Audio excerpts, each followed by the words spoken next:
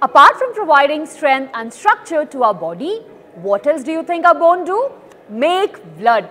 Yes, all the blood in our body comes from our bone.